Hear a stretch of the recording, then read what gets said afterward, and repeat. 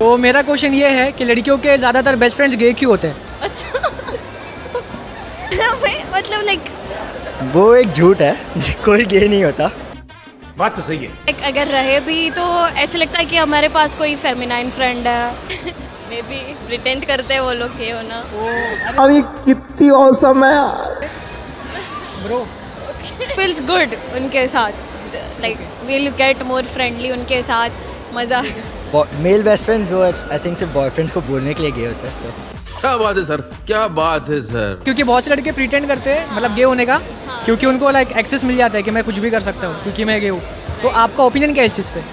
नहीं ऐसा नहीं करना चाहिए क्योंकि वो लड़की के लिए अच्छा नहीं है।